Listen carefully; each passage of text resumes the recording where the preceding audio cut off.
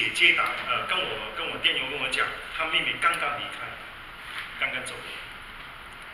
今天是二十礼拜，是今天是安息礼拜，我也不能去。我就感觉到人生是很快，过得很快。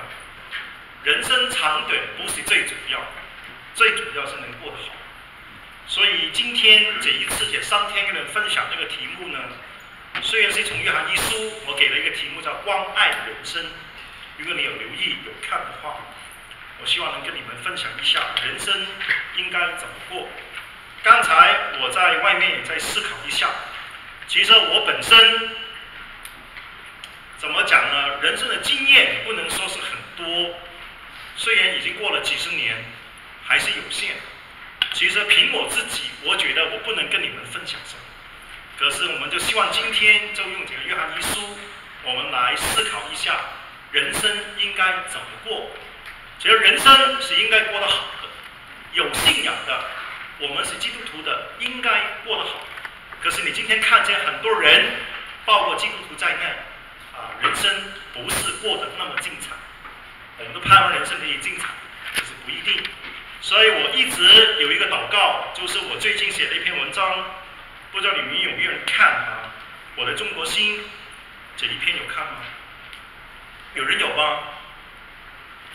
啊，有吗？只有一个人点头，两个看了吗？这个这个不容易，你明白吗？有自知之明，有改变之勇。真是很难。这个这八个字对我自己来讲也是一样的。我要知道我需要改变的地方，我觉得真的很难。然后知道以后愿意去改，我觉得更难。很多时候我们知道我的问题在什么地方，就是改不过来。所以我们呃，你知道基督教与其他宗教很不同的地方，这基督教我们不是靠我们自己，是靠神。我们常常这样讲。也在全福音，也会跟朋友这样讲。可是为什么我们没有靠神去过一个精彩的人生呢？自知之明，改变之勇不简单。我常觉得，真的要改变啊，应该这样讲吧：真的要改进，就应当有改变。可是要改变之前，先要明白要改变的地方是什么。呃，能知道自己需要改变的地方，真是很难，真是很难。呃，我还有很多地方要改，也在改。我希望我们也是一样。呃，如果你们收到你们这一个的手册以后，可能你看了以后，我希望会给你很大的压力哈，觉得里面的内容很复杂、很困难，有这个感觉吗？我希望没有啊。我知道去年来查经营，我讲到这个查经。然后有讲到这个文化图，呃，不是文化图，经文排列图，还有结构图。完了以后，我也真的特意再过来，好像三次，是三次吗？来给你们有有补充吧，就是训练有关怎么做这个排列，经文排列与经文结构。啊，过了三次训练以后，有人还不是完全明白怎么做。我觉得这个不是最主要，最主要我希望你们能明白，真的读经，呃，有很多的方法。我说我想说的，今天我跟你们分享的方法不是绝对，可希望在其中可以跟你们能学习怎么去明白神的话。呃，如果你看你们时间表，看到没有？呃，明天是最长的一天。你能过了明天，今年应该没有什么问题。呃，我跟你们说，单单讲一篇道，我觉得挺容易，不是太难。呃，带领小组查经也不是最难，带领弟兄姐妹一起去明白神的话，我觉得不是太轻松。啊不是太容易，等一会讲下去，你们会明白。呃，我先讲一讲嘛，《约翰一书》啊，有谁之前没看过《约翰一书》的？应该都读过《约翰一书》，对吗？如果查经或者研研读《约翰一书》，以前有没有做过？我看看有没有，都都没有人点头，有吗？啊，有些人点头都有哈。我跟你说，我准备这一次《约翰一书》呢。我且大概准备了大概只有三个月的时间。所以你看见里面分开有四部分，我要做那个经文的排列，所以每一章每一节都排出来，然后做那个结构图，然后做那个字词的研究。我找了六个字在约翰一书出现最多的，然后第四，我都找了约翰一书有三段比较有困难解释的经文，比方说讲到从神生的这不犯罪。拿我个人来讲，我觉得，哎，我是从神生的，为什么我还犯罪呢？对吧？不但对神要认罪，对人也要道歉，就表示我还会犯罪。那到底从神生就不犯罪，难道不是从神生吗？所以里面也讲到第二个经文，讲到说有至于死的罪，也有不至于死的罪，什么意思呢？是有些罪是为死的，有些罪不为死，还是什么意思呢？然后第三个经文讲到为呃为主做见证的有水有血还有圣灵啊，到底有三个见证的是什么意思？啊，这些三个经文也会解释一下。所以我总共只花了三个月的时间来做这个研经的呃事情。然后做完以后把它写出来，把它打好排好。你知道排这个事情都排得很累。我读这个约翰一书就为了写一次的研经营了。你知道约翰一书读到什么地步呢？在读到这个地，就是约翰一书就在这里。你看见没有？在从圣经里面掉下来了，已经。这就是我的约翰一书。就是我，就是就是一直放一直放嘛，所以放到最后，突然叫谁？为什么把它掉下来？为什么会掉下来的？因为放的太多，所以就掉下来了。所以真的花了很多时间，花了很多时间。所以这一份的手册不是不是那么简单，所以我希望你们回去可以好好看，要在其中思考了有很多。这一次来啊，如果你看三个的营会，读经营、查经营、研经营，如果你真的问我的话呢，研经营应该是最难的，应该是最难的。所以反正你们进来了就不用担心，也不要一开头一开始的把你们吓怕了。我的意思是说，我希望你们学习的不是单单去听，也不是单单去读。我觉得我们要学习怎么去思考，还有怎么去应用。很多人读经读了半天，他第一读不明白，第二没有应用。我觉得这个就不是读经应该有的结果。所以我希望你们花一点时间啊，这三天我们一起来学习怎么去明白神的话，怎么去思考神的话。怎么去应用神的话？我在跟你们带你们去思考的过程当中，我没有固定的结论啊。虽然有些结论在里面，可是可以改的。基本的内容是不会改，可是到最后的结论可能会有不同的啊，因为带下去你们会明白。好，我们啊先看嘛，今天我们先讲到十点钟，其实讲到十点钟可以吗？现在是几点钟？现在才是八点钟，两个小时，我中间会给你停五分钟、十分钟，不要担心啊。可是我说十分钟的，真的十分钟，你不要一去不回头啊，去了就不回来啊。希望我们等一位会休息一下。好，翻开我的笔记，第六页，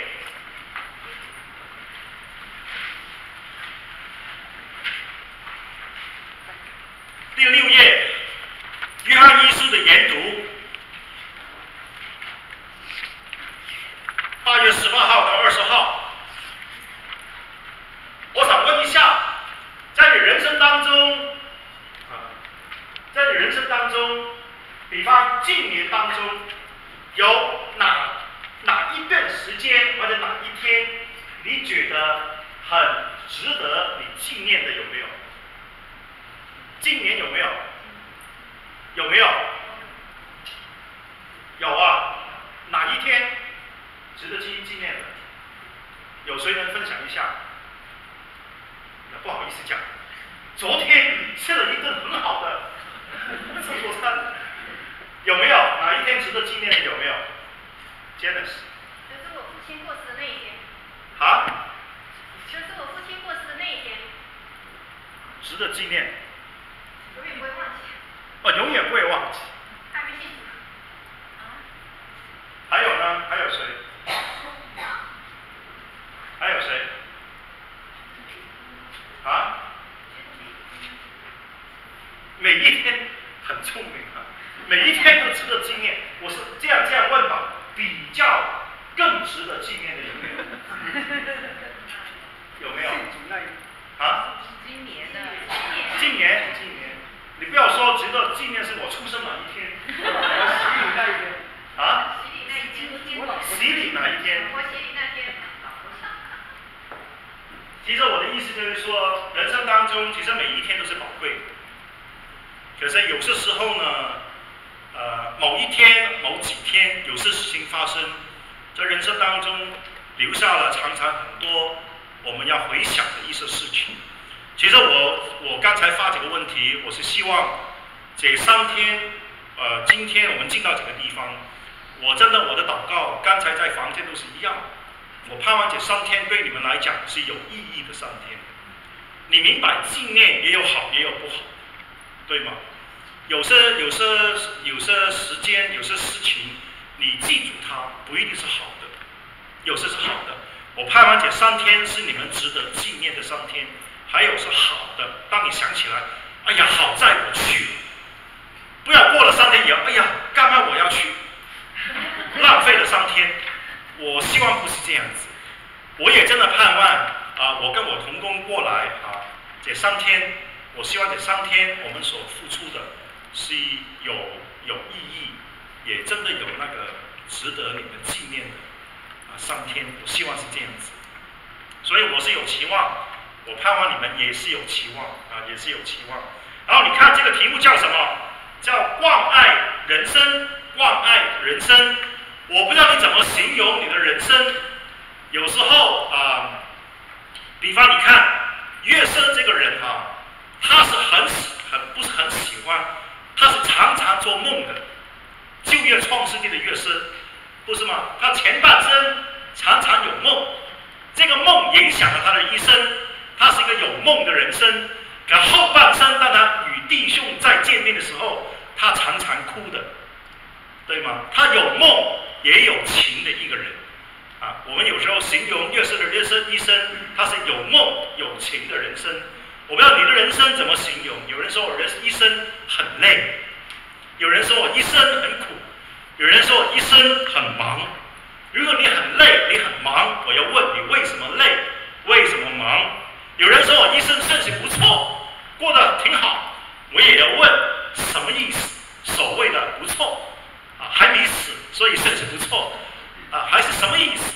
明白吗？这里讲到说关爱人生，我在读约翰一书的时候，读完以后只有两句话在我心中提醒我自己。无论过了多少年，人生当中两件事情是人生一定要有的。第一个就是有光，第二个就是有爱。我们要行在光中，要活在爱中，这是人生应当有的。所以当我读完以后，我觉得这两这两句话呢，就给我很大的提醒：行在光中，活在爱中。人生要是一个关爱的人生，不单是关爱人生，不单是有光有爱的人生，还有就是说，我要行在更多的光的当中，我要活在更多的爱的当中。你知道，当我们慢慢成长的时候，我我个人是这样子，以前我以为有些事情没什么问题，后来慢慢。我体会到其实是有问题，也就是所谓更多的光中，你明白吗？以前不体会到有问题，有问题的没有体会到有问题，后来体会到有问题，这个就是所谓行在更多的光中的意思，明白这个意思吗？以前我觉得这个行啊，这个没什么，后来觉得其实这个根本就不对，可是以前没有体会，所以不但行在光中，还要行在更多的光中。还有，不但要活在爱中，也要活在更多的爱的当中。有些人不是没有爱，可是他的爱是非常的有限。我以前也是，现在也是，有些事情，我是怎么讲呢？那个爱真的不够。对某些人，我的忍耐就很有限。对某些人，比方我太太，我的忍耐就很多。啊，对我的孩子们忍耐很多。对某些人忍耐很多，我觉得我需要活在更多的爱的当中，还有就是说我要更多的行在光中，更多的活在爱中。有些人是很短的时间有行在光中，活在爱中，我们要增加那个时间是越来越多。所以无论怎么讲，当我读完这一书，给我很大的体会，我要行在光中，活在爱中，还要呢行越来越多。活也越来越多，光也越来越多，爱也越来越多。这个就是我所谓的人生的目标。对我来讲，在约翰一书的领受。所以你看啊，在约翰一书这里看见说，使徒约翰晚年所写的书信集，你就要在这个呃新约当中有三位神所用的人写了一些的书信。一位就是保罗写了很多的书信，还有就是彼得写了彼得前后书，然后约翰使徒约翰写了约翰一二三书，当然还有约翰福音。这三位的呃神所用的呃使徒所写的书信呢，有人说它代表了基督教三方面很重要的基础，就是信望爱。有人说保罗就是信的使徒，他对啊这个因信轻易。是非常的看重，然后彼得是什么？望的使徒。你叫彼得以前是因为怕不认主，后来彼得前后书你真的去研读的时候，可能有一次的读经营查经营，可能研经营，我们才看彼得前后书，就讲到彼得是很有盼望的。在彼得前后书里面讲到有三个很重要的主题，第一个是圣福，第二个是受苦，第三个是荣耀。为什么我们可以胜福，可以受苦，就是因为有荣耀的盼望。所以彼得到最后他都不怕死，为了主的缘故，他也不怕死。从使徒行传一开始，你就看见彼得的改变。所以有人说保罗是信的使徒，彼得是望的使徒，那约翰是什么？爱的使徒。在圣经当中称他是什么？耶稣所爱的门徒，对不对？所以他写了很注重爱这一方面。你看约翰福音讲了很多有关爱的，约翰一二三书也有讲到有关爱的，所以这个是很重要的一个的主题，是使徒约翰晚年所写的书信。书信的内容以真理与生活并重，神学与应用并行，并行。我觉得人生当中有人问我，怎么的人生是好的人生？不但讲到有光有爱。我觉得其中一个很重要，我们常常说就是说要全面，也要平衡。平衡的人生，还有全面的人生是很需要的。要全面的生活，全面的生命是很重要。不但有真理，也需要有生活；不但有神学，也需要有应用。我也常常有机会跟很多神学生，除了通用神学的神学生以外，还有其他神学神学学生呢，有机会跟他们交谈，跟他们相交。我也学了很多。我发觉了，我常常劝一些弟兄姐妹，我们去参加训练也好，讲座也好，读神学也好，常常很多人他们真理很懂，神学很懂，也很也有很多。问题就是说，生活没有把他所明白的真理活出来，然后神学也没有应用的层面，这个是很不完全、不平衡的，不平衡的。所以，真的，我觉得在约翰一书里面，我们看见他很强调一件事情，就是要行政理，这个是很重要的。所以，因为当中，我们一起来看这个书的重点，还有它的特点在什么地方。从当时到今天的应用，然后，如果你读约翰一书，你就要两句话，有两节经文是很重要。第一句在第一章那里讲到说，神就是光，对吗？然后在后面讲了什么？神就是爱。你想想看，神就是光，神就是爱，所以作为他的儿女，我们应当活出爱的人生与光的人生，对吗？我们应当要这样子。你看，你这所书保罗也有讲，你既然是光明的儿女，你生活怎么样，行的行行为怎么样，就应当如同光明的子女。那中文的翻译说，你要像光明的子女。那我不太喜欢用“像”这个词，因为你像。光明的子女就是好像装出来的，啊，我不是真的，我只是像他而已，啊，如果另外翻译这些讲，就是如同光明的子女，英文就是 as，就如同光明的子女。所以这里讲到说，神就是光，神就是爱。我们作为神的儿女，还有一句话更重要，作为神的见证人，我们见证神嘛，你应当就有光的生活，有爱的生活。可今天，如果在教会当中，在你家庭当中，在你生命当中，你没有这个光，没有这个爱，我们没有为神做他的见证。耶稣升天以前，他说：“你们要去做我的见证。”所以我真的希望我们弟兄姐妹真的要想尽办法，在你我生命当中，还有在你我的教会当中，我们要活出光。爱的人生。今天如果在教会当中有黑暗的地方，我们要让光能照在其中，让黑暗离开。如果在教会当中没有爱的地方，就让我们其中，我把爱活出来。所以这是很需要。很多时候，我们很多时候不能管别人，我们管好我们自己，把光、把爱活出来，活出来。所以，神就是光，神就是爱，是全本书两个很主要的重点。我觉得也是你我人生当中所需要的。人要行在光中，没有黑暗的地方，没有事情。啊，有句话讲，呃呃，怎么讲？就是没有事情不能跟人讲。是呃，怎么怎么讲的那句话？哦，怎么讲？事不可对人言啊，事无不可对人言。你们明白就行了。就是说，有时候我们有时候也怕，呃，所以我们说，光的人生，光明人生，就是说我没没什么，都是我是很透明，很透明的。还有一句，还有一个就是说，还有要有爱的人生。我这个人生当中，现在的世界当中，恨已经太多了。我们不要增加这个恨。人可以对不起我，我不要对不起人；人可以恨我，我不要恨人。当然也不要人恨你啊，如果你得罪他啊，也不要这样子啊。所以关爱人生很重要，人生这样子，教会这样子。这里讲的还有两件事情啊，除了神就是光，神就是爱。所以在神就是光里面，第一章有讲到说，我们要彼此相交。第一章讲到说，不是单单与神相交。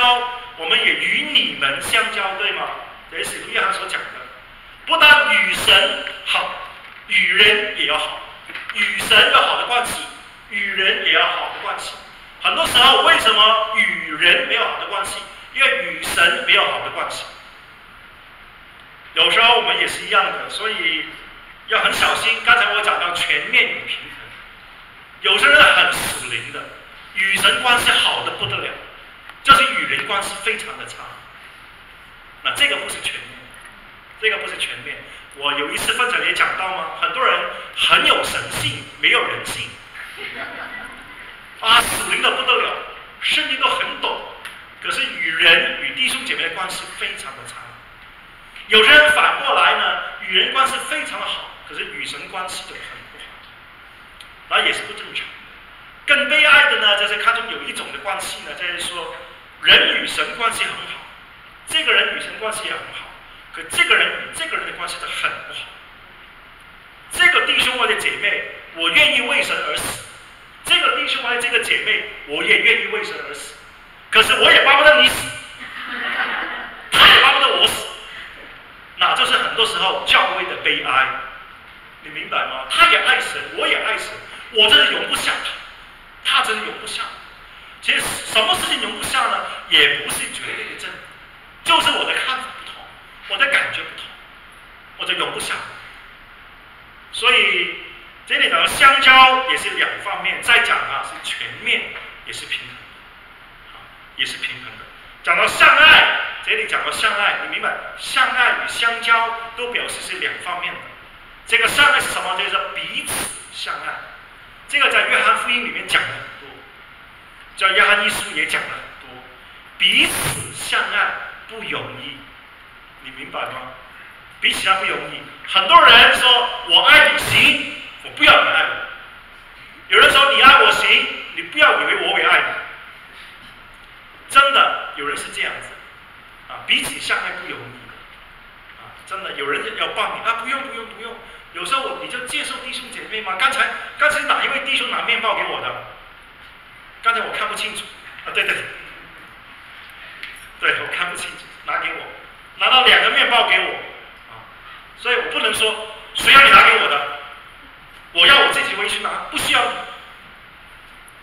对我也我吃了一个哈。还有一个等一位才是，啊，所以容许别人对你有爱，你也愿意对别人有爱，这是很重要，彼此相爱是很需要的。所以你看这里是两个很大的需要。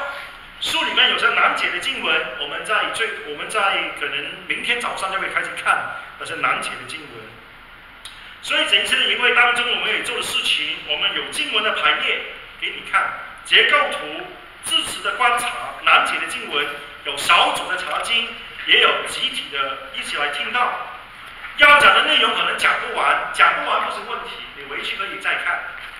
不可能两天之内把约翰一书把它看透，我都看了三个月，当然不是每天看，对吗？说两天能把它看透吗？我觉得没那么容易，没那么容易。好，我们翻到第七页。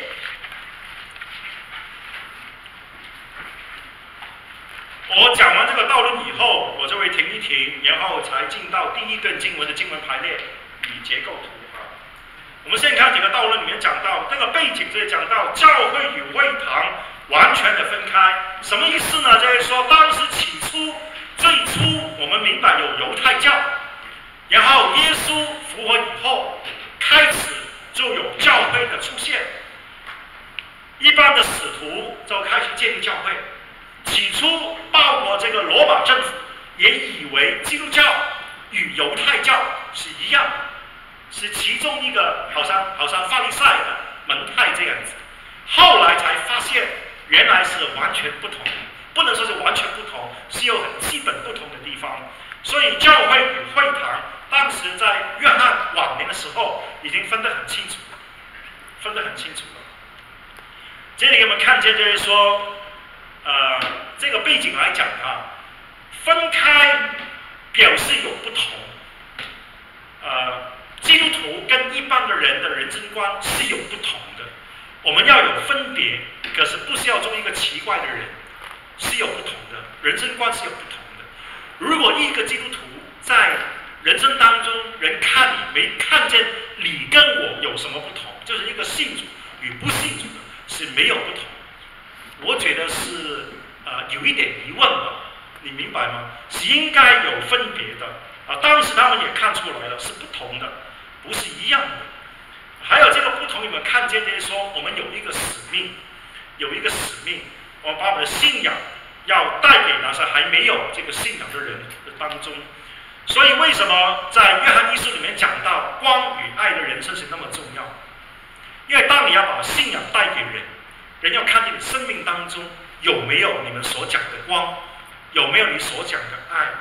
啊，慢慢我们看下去会看见两方面啊。第二，讲到因信称义与行为称义已经没有争辩了，他们都明白我们基督徒是因信称义的，犹太教他们是要行律法。基督教我们说是因信称义，这里也提醒我们有一件事情，也是约翰一书所讲到的：你信了主，从神生的就不犯罪。那有人说我因信称义不是凭行为嘛？所以我信了主，我接受耶稣为我而死，我就不怕。虽然我们这个地方有医院，不表示你要病的，反正有医院，我就病了。啊最近我我儿子呢有点咳嗽，然后呢有人买那东西来是炸的，我们说他你不要不要吃这炸的东西，你还在咳嗽，他说不怕，我们有药可以吃。我这个就不对了嘛，你明白吗？因信称义不表示你因信称义你就可以啊没有行为的表现，有了确据以后不是放松，乃是谨守。这是过去很多基督徒所面对很大的困难，觉得我已经得救了，我就可以啊很安全的犯罪，好像我买了保险呢，你买了保险是不是很安心的去撞车呢？当然不会这样子，恩典不是这样用的，所以为什么约翰一书很啊很很明显的讲到说，从神生的这不应不能犯罪，这不能犯罪。因为我们生命是不配的，好像换句话来讲吧，好像结了婚以后，结了婚以后，不是不看重，乃是要珍惜。常常有些姐妹跟我分享，甚至我太太也有跟我提到，结婚以前跟结婚以后好像有。我希望在座的姐妹结了婚，啊，都摇头不同意这个。啊，其实我觉得。有人说结了婚以后好像没有以前那一种，啊，你没有那么看重我了，好像，因为你我已经是你太太了，你就没有那么看重我，已经好像已经成功了，可以放松了，那不应该这样子。所以在这里我写了两句话，我说，婚约不是单在婚礼当中说的话，乃是在婚姻当中行出来的事。在婚礼当中，我们都有婚约嘛，有时候都会答应对方啊。男的也讲，女的也讲，讲的话非常感动。我常常参加婚礼呢，听男的女的在互相承诺的时候，我都很感动。最近一次我都哭了，我听到我哭了，听到很感动。我太太说哭什么？又不是你在讲，又不是你结婚，你哭什么？我说听他们讲真的很感动。哎呀，无论怎么样，我都怎么样怎么讲的很感动。婚约不是单单在婚礼里面讲的。给人听的，婚是要婚姻当中为对方活出来的事，所以不容易。你知道我结婚已经二十九年，我明年就三十年。我还记，我现在在我房间还有我的婚约，就是我对我太太讲的话，也还放在哪里，我太太不知道。有时候我要拿出来看一看，二十九年前到底我答应我太太什么？你明白吗？结婚也要跟你说，人会变，我也变了，我太太也变了，环境也会变的，可能会面对困难的，可能会有一些事情可能不开心的，要再看看你的婚约。我二十九年前我答应我太太的事，婚约不是当然在婚礼里面讲，是要婚姻当中活出来的。同样的信仰也是一样，不是单单在教会里面听的，要在生活当中活的。很多人很喜欢听到，对讲道的人要求要很高。你最好讲道不要困哈，你讲道千万不要让我睡哈。讲得好又怎么样？你能活出来？在教会当中有冲突的时候，弟兄姐妹，我们有冲突的时候，我们怎么去处理？怎么去处理？有没有行在光中？有没有活在爱中？所以真的，所以我觉得这个讲到因信称义是真的，我们也需要有信的表现，把你的信仰要活出来。后面第三点那个背景讲到基督位格的争辩的开始，里面后面有讲到有假基督要出来，在约翰一书里面有讲到。所以你看这里讲，你留意哪个字怎么讲？他说基督位格争辩的开始，这时候以前没有的，开始有了，开始有了。我常说人的信仰，人的感情，其中一个很好的考验就是时间。时间，我最近听跟一个教会的弟兄在谈的时候，在我教会里面有人信，可是很多两年以后就走了。所以有人信主，有人走；有人信主，有人走，一直留不长，留不住。所以我们人数还是一样，过去人那么多，现在人还是那么多。应该反过来讲吧，过去人那么少，现在人还是那么少。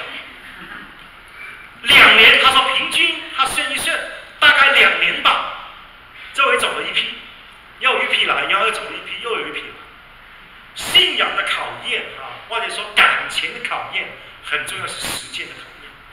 你能守得住，你能守得住，所以真的很小心。我们所信的神，有些基督徒起初信的时候很坚固的信，过了一年、两年、五年、十年，遇见一件事情、五件事情、十件事情，慢慢这个信心摇动。以前很愿意服侍的，现在没兴趣。我跟他说，有时候在我教会，有些人来我教会参加我们教会，我们教会人比较多。他来了以后，他就躲在哪里？其实我认识他，因为我去他教会讲他见到他，他也教会的长老，教会的执事。我说你干嘛跑到我们这里来了？哎呀，他说避一避吧，就是。他说真的不行了，真的不行。以前教会里面，你看他很很愿意服侍，现在他说真的不行了，真的不行了，变了改了。所以我觉得这个信仰也是一样的。你能持守你的信仰？持守你的信仰吗？所以我常常劝一些弟兄姐妹哈，不要啊，不要贪一些奇奇怪怪的一些的教导，不要贪心，也不要好奇，真的要小心。有时候人听见，哎呀，这个从来没听过的，我说有些很小心。有时候我情愿我比较所谓的古老一点，我不要偏离我的信仰。你明白我的意思吗？所以不要好奇，不要贪心，我们真的要持守我们的信仰，不要好像当时使徒约翰写约翰一书的时候，当时已经有一些的基督徒开始在争辩有关基督位格的问题。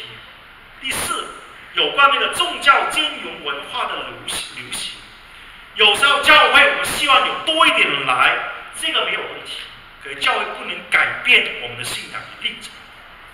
不能这样子，也不能改变福音的内容，也不能这样子。最近我接受一位学生的申请，因为学生要读这个空中神学院，他的申请，他写了他，我说我每个学生我们都要求他写他怎么信主，他写了第一次发过来，你知道他内容讲什么呢？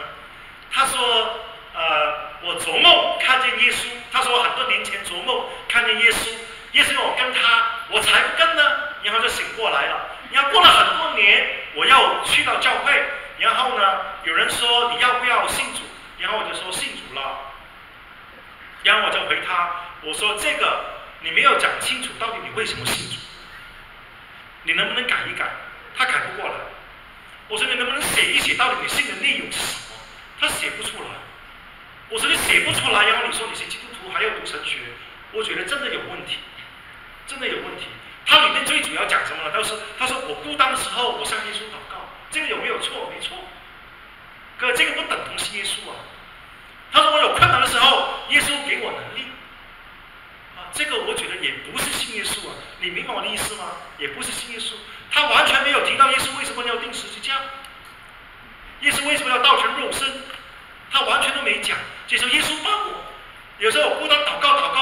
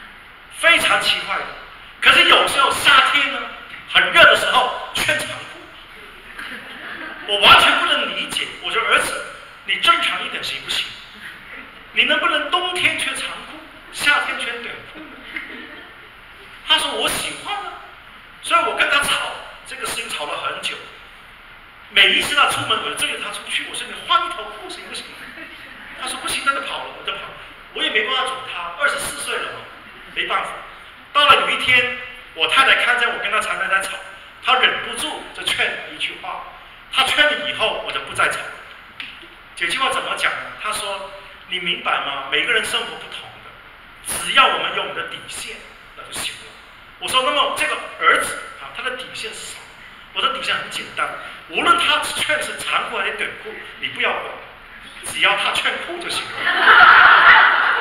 那这个对不对？这个对。他说，你你你想想看，两，就是你跟你儿子之间关系，为了这个事情，为了裤的问题，常常吵得不开心。有意思吗？他只要他劝哭就行了。我说行，这个我能接受。我说不能没有底线，因为有一天他不劝哭跑出去，这个真的不行。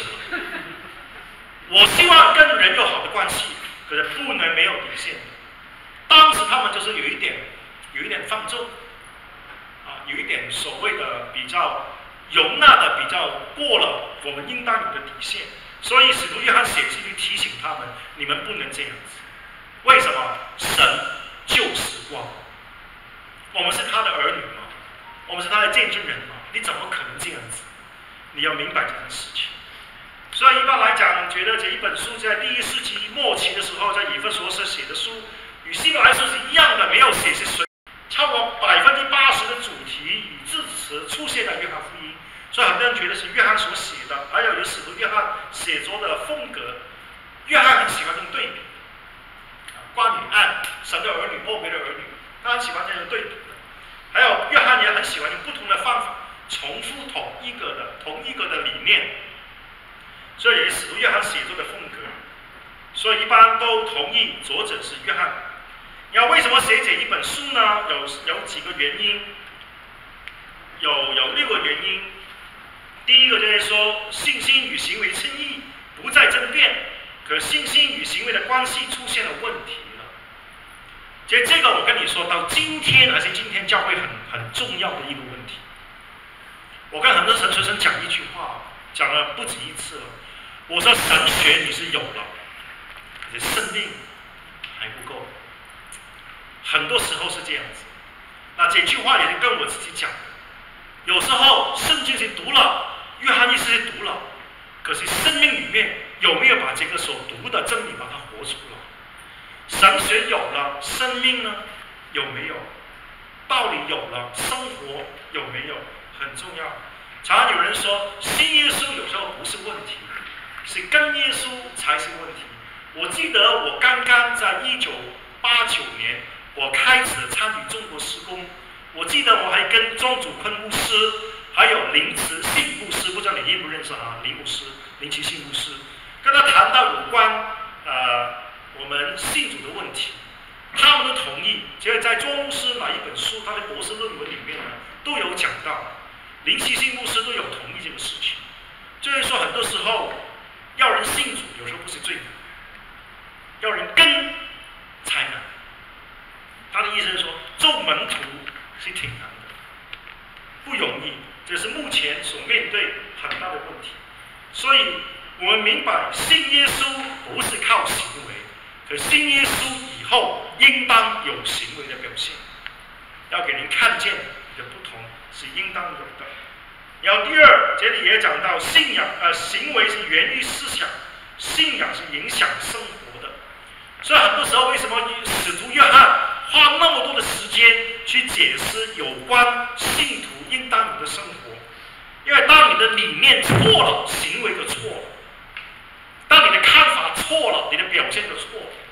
所以他要解释清楚，我们到底我们人生应当怎么样？弟兄姐妹之间与神的关系应当怎么样，都要讲清楚。然后有些外邦信徒的人，把他以前一些的信念带到教会里面去，这也是一个问题。所以下面讲到有一些我们的看法带出来，有一种叫 narcissism 自卫主义带出来。其实后面后面也有讲到一个事情，就是说，它主要来讲就是说，灵与魂，呃，灵与呃灵与体身体是分开的。我们的灵是属于神的，肉体啊是属于这个世界，所以肉体所犯的罪会影响着灵魂的。所以你肉体犯罪不是问题，我们的灵还是在神的手中，那这个呢就影响很大。所以有斗争这个问题，不能这样讲，不能这样讲。所以有时候外邦信徒的人把他一些的、一些的思想带到教育里面去，就影响。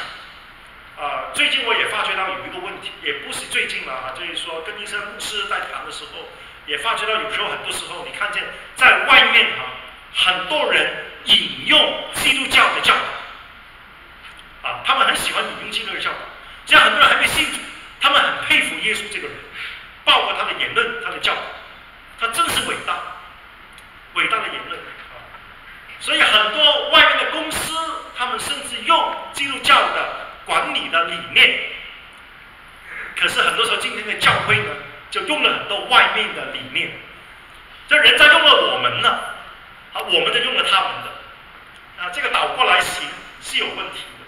还有第四，讲到基督论的择疑，就是说，讲到纯灵的神不可能在肉身之中，他们对基督有一点的怀疑，就是说他有他不是真正的人，所以有人说耶稣定十字架的时候呢。其实，呃，耶稣已经走了，只是一个肉身在哪里？所以解释都是我们觉得呢，呃，所以你看后面有讲啊，有一个就是说，耶稣受洗的时候，基督的灵才进去；耶稣被钉之前，一基督的灵已经离开了。人很多道理，很多理论，可是理论是理论，啊，道理是道理，道理与理论不一定是真理，所以有要小心的，要小心的。扭曲的祸害是什么？当灵与体完全分开，肉体犯罪不重要的时候，那个就会带来教会很大的败坏，所以不能允许这样子，不能允许这样子。我明白一件事情啊，在基督徒生命当中，我们有两重的生命在里面，对吗？对还是不对？我们有一个老我在里面，也有一个新的生命在里面。所以在罗马书里面有讲到这个。所以，为什么当我在研读约翰一书讲到从神生的这部犯罪，在后面我有我有解释的，这里我先讲一讲。如果从神生的这不能犯罪，那为什么保罗、彼得、约翰要写那么多的书信提醒我们不能犯罪？你明白这个意思吗？如果你根本不能犯罪，我还提你吗？我不需要提你。好像我不需要提你们，你们为死了。我是要提你们吗？弟兄姐妹，你会死的，不需要，你知道死定了。这是我最近女儿跟我讲的话。我跟我女儿讲，我说爸爸老了，她说爸爸你不当老了，你还会死的。我说谢谢你提醒我，你不需要提醒我的，我是死定的。你明白吗？所以如果你不会犯罪，保罗要写信吗？犹大要写信吗？彼得要写信吗？约翰要写信吗？是不是会犯罪的？两重的生命，所以我常说，就是说有一句话，就是说我们要去旧迎新，就是我们一生要做的事情行在更多的光的当中，活出更多的爱，这是人生要追求的事情。所以是有两重的生命，可是不要有两重的生活。我不知道有没有这个，啊，我这我跟你们分享吧，有没有这个感觉？有时候呢，我我会啊，有时候会做一些事情，想一些事情，讲一些事情，我觉得是基督徒不应该的。有时候我很惊讶，我说为什么会这样子？你你们有没有呢？还是你们没有的，只有我？只有要我是基督徒，我为什么这样子呢？为什么会想这个事情？为什么会讲这个话？为什么会做这个事情呢？有时候做的时候呢，其实也有有一点点知道是不对的，刚才一做了，给做了以后还好，还有感觉知道是不对的。啊，有个弟兄跟我讲，他说以前啊，以前我看起来东西呢没有感觉，觉得很正常的，现在看呢，这个很不舒服，看完以后很不舒服，很内疚。然后他就问我徐弟兄，到底我得救了没有？我说你看了以后不舒服，应该是得救的表现吧？对吗？有不同，以前看觉得无所谓的，现在看了觉得不对。最小这个是给你有一种内疚的感觉嘛。我说是这个是好的。所以我的意思是说，我们信主以后，我们里面还有老我，可是不要容许他活出来，不要有，我们有两重的生命，不要有两重的生活，不应该这样子，不应该这样子。好，下面讲到主题，主的神就是爱，神就是光，所以这一卷书呢，它的分开啊，有不同的呃分段啊，有人说第一章、第二章是神是光。上到四是神之爱，第五章是神之光与爱，或者说第一到第二章是神之光，第三到四是神之爱，然后第五章的神是生命，或者说还有第三组的分法，对神是光，神是爱，就是这样子分。可是无论怎么分，我跟你讲，无论怎么分，光与爱是很重要的，光与爱，所以说光爱并重。我再解释一点点，光与爱要一，刚才我讲全面与平衡。不能有光没有爱，不能有爱没有光。你想想看，有爱没有光，你光不是在啊，你爱不是在光的当中，不是很危险吗？明白吗？我有爱可是没有光，很危险。你有光没有爱也是很危险。如果我只有光没有爱，我看见弟兄姐妹某方面做的不好，我有光，看见他错了，可是没有爱。也不行，对不对？真的也不行了。如果我单单有爱没有光，这个也不行了，就把弟兄姐妹宠坏了，纵容他们去犯错，因为我爱你们嘛。犯错无论怎么犯，怎么样的错，我还是爱你。是为什么在宗教改革呢？今年是五百周年纪念嘛。宗教改革当中，其中第三件事情很重要，就是教会的那个纪律的问题。教会的纪律很重要，有人犯错，你不能视而不见，听而不闻，不能这样子。所以光中要有爱，虽然你明白你是对的，你懂的，有人不懂，你怎么去帮他？我常常说，要一个人痛苦啊，要一个人难过很容易，要一个人灰心很容易。好像雅各书第五章所讲的，把一个罪人把他挽回过来，这个宝贵。看到一个人不行，你骂他，太容易了吧？对吗？太容易了这个事情。可是如果你们帮他改过来，这个才是爱的表现。所以有了光也要爱，也要有爱。有爱的话，人一定要有光，一定要有光。爱在光中，哥林天师上单怎么讲？爱是不喜欢不义，只喜欢真。爱不是没有底线的，还是有的，还是有的。所以这个爱与光，就是刚才我讲过了，在你我人生当中，在教会当中是非常非常的需要。这样在教会当中有爱没有光，有光没有爱，光爱人生两个都需要，两个都需要。所以重要的思想有几方面啊？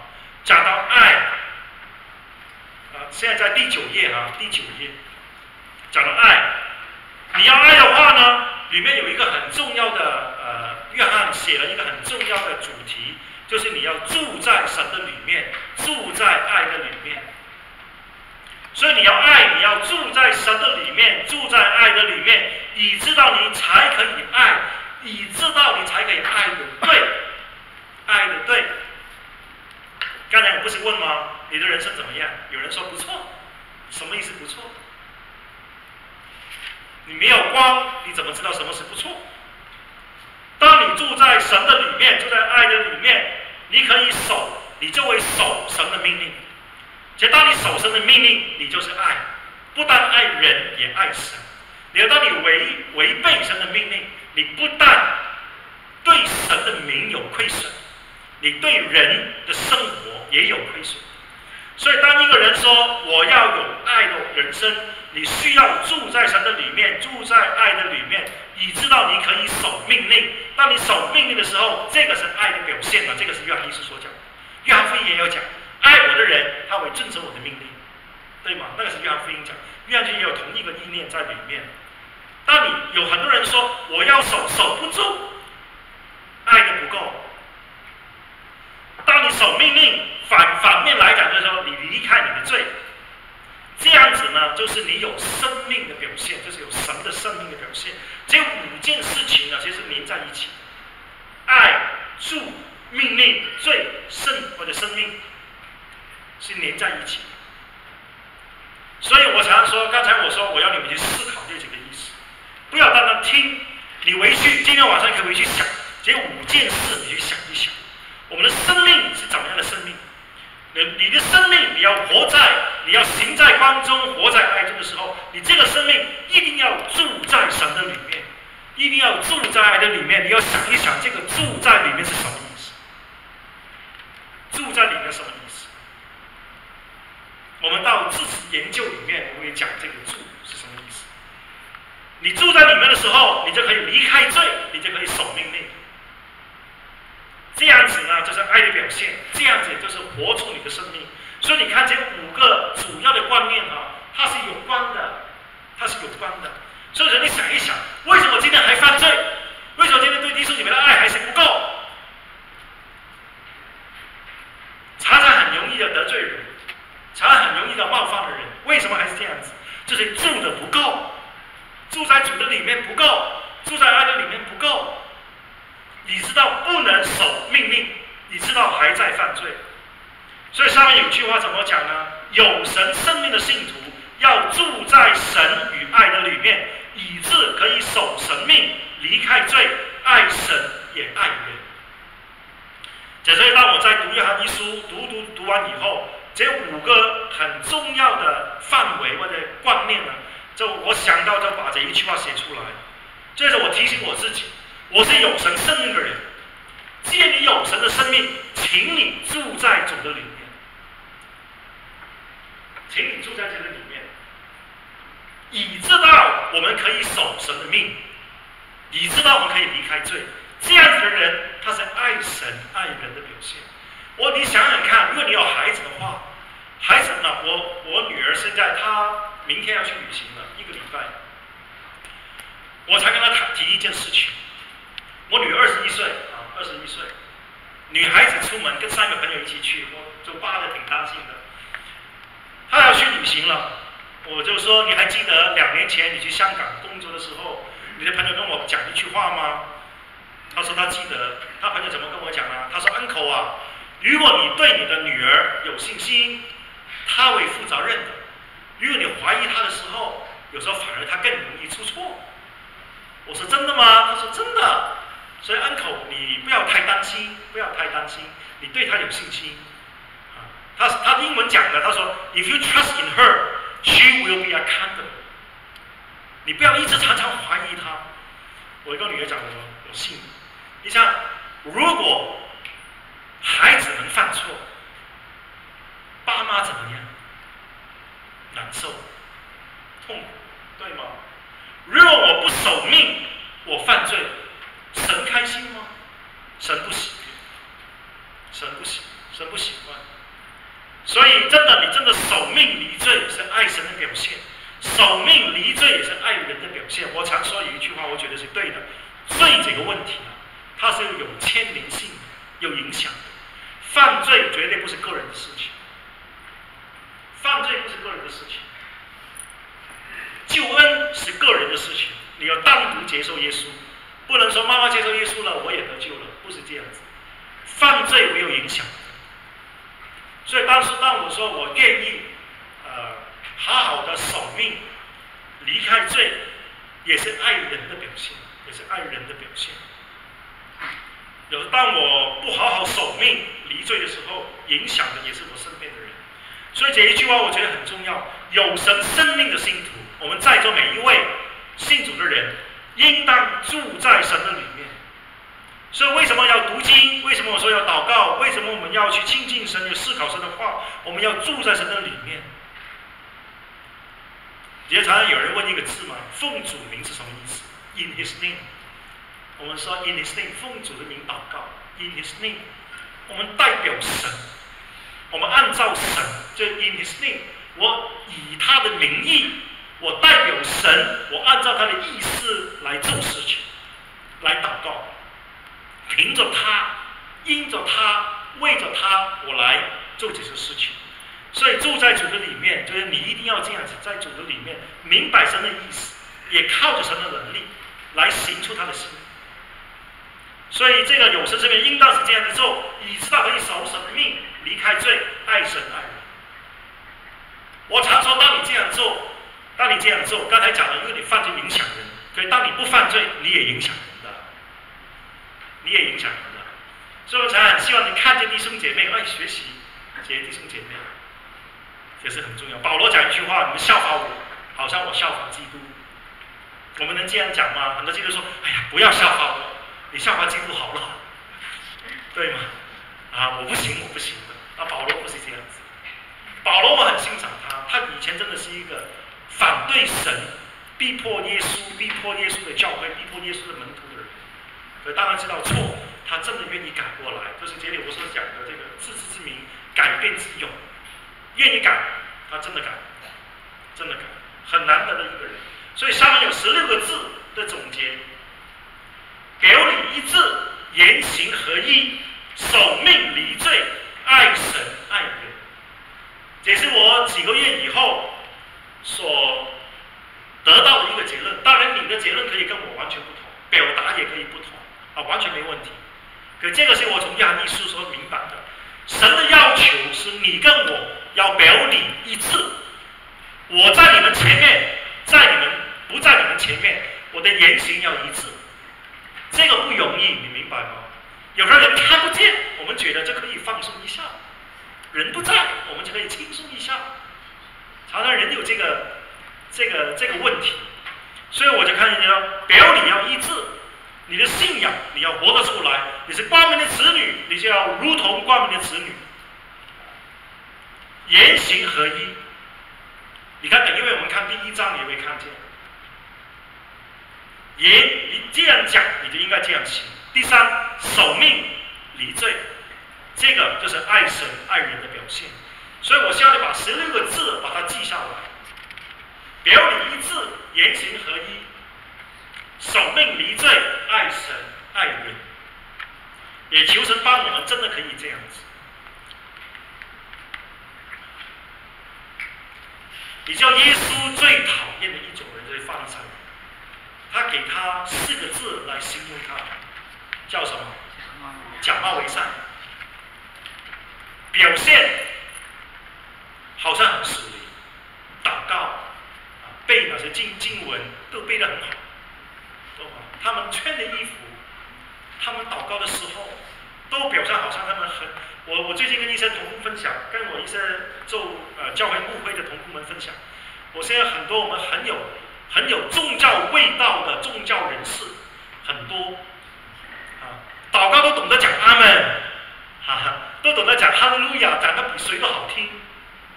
可下来以后是另外一个人，这就是耶稣所讲的假冒伪善，啊，虚有其表。所以这里讲是表里一致，言行合一，守命离罪，爱神爱人。所以，等于为我今天这三天所讲的课里面呢，就是讲到经文排列与结构图来明白经文的内容，从重要的与重复的字词明白经文的教导，从难解的经文明白经文的解释，最后呢，从课程的内容学习明白信徒的生活。研读的方法基本来讲哦，没有用，我真的没有用什么解经书，我也不会跟你讲哪一位解经家怎么讲怎么讲，就是看经文的，就是看经文，看经文里面所讲的。所以呃，如果你看我里面的笔记的，基本里面全都是内容，全都是约翰一书的内容。我没有引用很多其他别人怎么讲怎么讲，我就是经文里面怎么讲。解经两个原则：字面的意思，上文下上下文。第四，以经文做起点，以生命为重点。我真的巴不得今这三天过，这两天过了以后，到礼拜天我离开的时候，你对约翰一书不单有一定的了解，我还希望你对你的人生有一些决定。有一些决定，我觉得这个是最主要的。如果不是的话，来营会干嘛？真的要有决定，不是说哎呀，就拿一本笔记回去看看，哎，挺好的，啊，就放在旁边很顺，啊，不要这样子。以经文为起点，生命为重点，经文的内容很丰富，我不能所有都讲，所有都讲。时间啊，最好这里两句话：时间是有限的，学习是无限的。啊，后面的我不讲了，不用放到第十页了，我就停在这里。我在这里问一下啊，我看还有还有时间吗？还有一点时间，还有一分钟我就停了啊。你们看了这个笔记，有有人翻过这个笔记来看吗？翻一翻有没有？翻过没有？感觉怎么样？啊？什么？很专业。你说中文打字很专业。写的很苦，我跟你讲。还有谁有什么感觉？这个笔记很什么？很复杂。啊，有的好像很复杂，因为希望讲完以后你觉得很简单。还有还有谁？真的花了很多时间写。那现在我问一问，在我结束之前，给你们出去五分钟、十分钟啊，给你十分钟吧。约翰一书两个很主很主要的主题是什么？神就是光，神就是爱，人生是光与爱的人生，光中有爱，爱中有光。我希望你今天睡觉都想着这个事情，你真的要记住这个事情：光中有爱，爱中有光，不能有光没爱，不能有爱没光的。你要有底线的，不能没有底线。可是你要有空间的，有空间有底线，就是光中有爱，爱中有光的。对吗？不错，他是犯错了。不错，他是没有没有你那么好，他事情没有你那么做的那么好，没有那么经验。可能他讲话讲错了。无论怎么样，你在光的当中有没有爱呢？你爱的当中有没有光呢？有没有原则？还是什么都行？啊，这个比较难的。十六个字是什么？不要看。第一个什么？表里一致，言行合一。第三呢？守命离罪，爱爱神爱人，十六个字把它背下来。每天起来啊，我记得我读经您就讲了，每天起来要背一背《十不思兵法》，那哪是哪是字？这个不同。每天明天起来，今天晚上刷牙的时候讲这十六个字，一边刷牙一边讲。第一，表里一致。言行合一，还有呢，守命一致，爱神，常常提醒自己这些事情，我觉得是很重要的。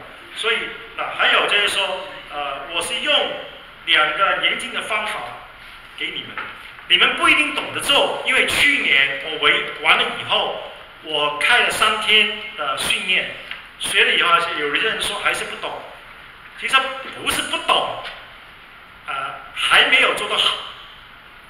不是不懂，还是行的。你呃，我我也说，当你看经文牌，你不要再问我怎么做了，因为怎么做又要再来三次，那就那就不行了。所以你最少能懂得用。所以我我会跟你一起去观察。我先讲一讲啊，经文排列是进去看经文，经文的结构是全面看经文，经文排列是进去看里面的细节。经文的结构是全面看他们的关系是有不同的，是有不同。一个是。进去看，一个是全面看。最主要透过经文的排列与结构，帮我们去思考经文的重点，然后应用经文的教导，行吗？我希望刚才讲的有些某些内容，你能把它记下来。啊，约翰一书基本一些的背景、一些的概念、一些的重点，我先讲一讲。然后现在呢是八点零三啊，九点零三分，九点十五分之前你们要回来，听得见吗？如果不是的话，观众就没有爱了，行吗？